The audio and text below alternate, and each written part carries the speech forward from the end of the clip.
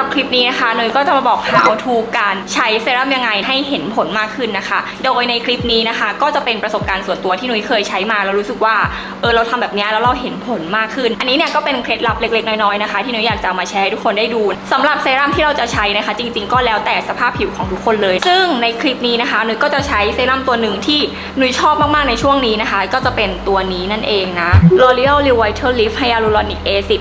1.5% Hyaluron Serum นะคะตัวนี้นะคะเขาเป็นเซรั่มพยาตัวดังของ L'Oreal เลย เขาช่วยในเรื่องของการลดเลือนริ้วรอย อย่างตอนนี้หน่ยก็ 30 บวกแล้วเนาะ สิ่งที่หนุยใส่ใจเป็นพิเศษในการดูแลผิวนะคะ ก็คือเรื่องของริ้วรอยเป็นหลัก ในคลิปนี้นะคะหนุยก็เลยเอาตัวนี้ที่หนุยชอบเนี่ยมารีวิวเป็นตัวอย่างให้ทุกคนดูแล้วกันเนาะ คือตัวนี้หนุยชอบเนื้อเซรั่มเขามากเลยทุกคนเห็นไหมคะ จะเป็นเนื้อเซรั่มใสๆ ซึ่งเนื้อเซรั่มเขามีความบางเบามากๆ ทาลงผิวไปแล้วคือแบบเขาซึมไวมากๆ แล้วก็ช่วยทำให้แบบผิวแบบมันใสแล้วก็อิ่มน้ำทำให้ริ้วรอยเนี่ยลดลงไปแบบ เห็นผลได้ไวมากๆอะ่ะ อย่างริ้วรอยแบบที่เป็นริ้วรอยเล็ก ๆ อะไรเงี้ย พอทาลงไปสักพักหนึ่งอะจะเห็นเลยว่าริ้วๆพวกนั้นมันหายไปเลย แล้วหน้าก็คือแบบดูฟูดูตึงดูแบบเต่งขึ้นมาเลย โดยตัวเซรั่มตัวนี้นะคะเขามีไฮยาลูรอน 2 โมเลกุลนะคะ ก็คือมีแมคโครไฮยาลูรอนที่เขาช่วยในเรื่องของการเติมความชุ่มชื้นให้ผิวชั้นบน แล้วก็มีตัวไมโครไฮยาลูรอนนะคะ ที่เขามีโมเลกุลเล็ก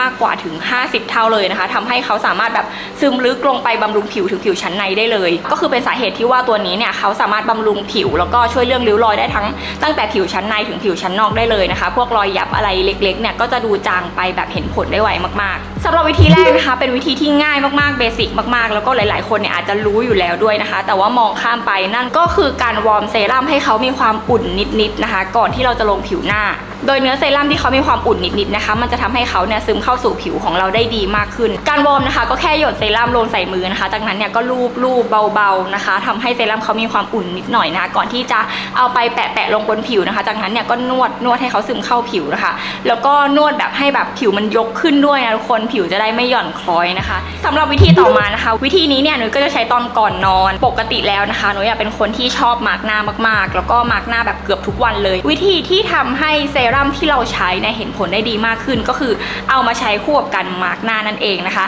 โดยก่อนที่เราจะมาสก์หน้านะคะนุ้ยก็จะใช้เซรั่มตัวนี้นะคะ ลงไปที่ผิวก่อนนะคะ โดยลงแบบชุ่มๆแบบฉ่ำๆไปเลยนะคะ จากนั้นเนี่ยก็ใช้มาสก์นะคะ แปะทับลงไป ระยะเวลาเนี่ยต้องไม่ทำให้แผ่นมาร์กแห้งคาผิวนะคะ ระยะเวลากลางๆ ก็อยู่ที่ประมาณ 15 นาทีนะคะ จากนั้นเนี่ยเอามาร์กออกนะคะ จะสังเกตเลยว่าผิวคือมันแบบฟูมากริ้วรอยคือแบบดีมาก ตื่นเช้ามาคือหน้าแบบหน้าอิ่มหน้าฉ่ำแล้วก็ไม่มีริ้วรอยแบบยับๆเล็กๆกันคือวิธีนี้นะคะนุ้ยบอกเลยว่าถ้าใครลองทำติดต่อกันเป็นระยะเวลาแบบประมาณอาทิตย์ถึง 2 อาทิตย์อะไรอย่างนี้นะคะจะสังเกตเลยว่าผิวคือดีขึ้นแบบมากๆจริง ๆ เวลาแต่งหน้าก็ทำให้แต่งหน้าติดทนได้ดีมากขึ้นนะทุกคน หลังจากที่เราแปะหน้าเสร็จเรียบร้อยแล้วนะคะนุ้ยก็จะพับครึ่งของมาร์กนะคะ แล้วก็เอามาแปะคอทำให้แบบสามารถลดริ้วรอยตรงคอตรงขีดขีดตรงนี้ไปด้วยนะคะ คอเราจะได้มีริ้วรอยลดลงนะจะได้ดูไม่แก่อะไรอย่างนี้ วิธีต่อมานะคะ เป็นวิธีที่นุ้ยทำในตอนเช้าก่อนที่จะแต่งหน้า ซึ่งตอนเช้าเนี่ยเราอาจจะไม่ได้มีเวลามามาร์กหน้าอะไรมากมายนุ้ยก็จะใช้เป็นวิธีแบบสำลีที่ชุบโทนเนอร์มาแปะหน้า ซึ่งวิธีนี้เนี่ยเป็นวิธีที่ใครหลาย ๆ คนอาจจะใช้กันมานานมากแล้วนะคะ แต่นุ้ยอะจะเพิ่มความเข้มข้นของการที่เราแปะมาสก์ตอนเช้าไปด้วยการที่นอกจากที่เราจะใช้โทนเนอร์ลงไปที่สำลีแล้วเนี่ยนุ้ยก็จะใช้เป็นเซรั่มนะคะ หยดลงไปบนสำลีด้วยเพื่อเพิ่มความเข้มข้นแล้วก็ทำให้แบบมันมีแบบประโยชน์มากขึ้นอะ แล้วก็เอาไปแปะตรงที่เราต้องการความชุ่มชื่นเยอะๆนะคะ ก่อนที่เราจะแต่งหน้า เราก็จะแปะไว้ประมาณ 5 นาที จากนั้นเนี่ยพอครบเวลานะคะ เราก็เอาสำลีตัวนี้นะคะ เช็ดไปที่รอบๆหน้าที่บริเวณคอหรือแขนใด ๆนะคะ แล้วก็นวดให้เขาซึมเข้าผิว จากนั้นเนี่ยก็จะลงเซรั่มตัวนี้อีกหนึ่งรอบนะคะ ทับลงไปแล้วก็ลงสกินแคร์ตามปกติ จากนั้นเนี่ยแต่งหน้า ทุกคนจะสังเกตเลยว่า การแต่งหน้าจะแต่งหน้าได้เนียนมากขึ้น ติดทนมากขึ้น ผิวฉ่ำมากขึ้นนะคะริ้วรอยก็จะมองไม่ค่อยเห็นนะคะ ต่อไปวิธีที่4นะคะเราไม่ลงเซรั่มตอนที่หน้าแห้ง อย่างหลังล้างหน้าเสร็จแล้วเนี่ยเราควรที่จะต้องรีบลงสกินแคร์ทันที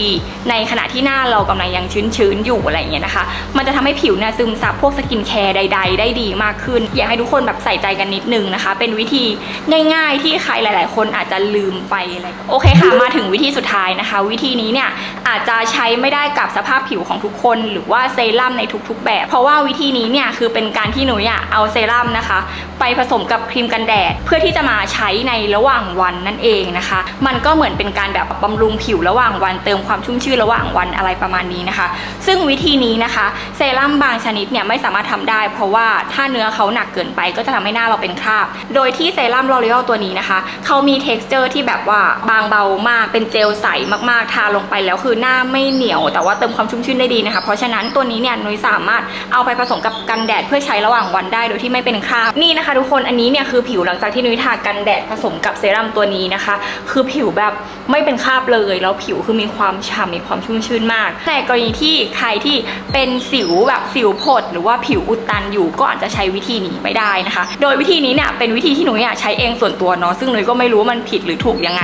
หนูก็ใช้ไปด้วยความที่แบบเออเราบ้าจะกินแคร์อะไรอย่างเงี้ยนะคะโอเคค่ะทั้งหมดนี้นะคะ ก็เป็น 5 วิธีที่เป็นเกร็ดเล็ก ๆ น้อยๆนะคะ ที่หนูอยากจะเอามาแชร์ให้ทุกคนได้ดูกัน ซึ่งโดยส่วนตัวเซรั่มตัวของเขาเองเนี่ยมันก็เห็นผลได้ไวมากอยู่แล้วนะคะ ถ้าใครที่แบบไม่มีเวลาใด ๆ เลยที่นุ้ยบอกมาทั้งหมดนี้นะคะ ก็แค่ ทาไปแบบธรรมดาเขาก็เห็นผลมากๆแล้วนะ แต่ว่าถ้าใครแบบอยากเห็นผลไวมากขึ้นไปอีกนะคะ ก็อาจจะลองเคล็ดลับที่หนุยได้แชร์ไปก็ได้นะคะ และสำหรับใครนะคะที่สนใจเซรั่มตัวนี้เหมือนกันนะคะหนุยจะใส่ลิงก์ที่ description box ไว้ให้นะคะ ก็สามารถกดแล้วก็ไปสั่งซื้อกันได้เลย ตัวนี้เนี่ยจะบอกว่าหนุยลองใช้มาแล้วแบบชอบมากเลิฟมากดีมากนะคะทุกคน คือถ้าเกิดใครได้ลองใช้คือไม่ผิดหวังแน่นอนอยากให้ทุกคนได้ลองนะคะ ตัวนี้แล้วแบบราคาน่ารักราคาดีงาม ทุกคนสามารถแบบจับต้องได้ด้วย โอเคค่ะยังไงเดี๋ยวลงไปดูที่ description box ด้านล่างนะคะสำหรับคลิปนี้นะคะหนุยต้องไปก่อนแล้วค่ะ แล้วเจอกันใหม่คลิปหน้านะคะ บ๊ายบาย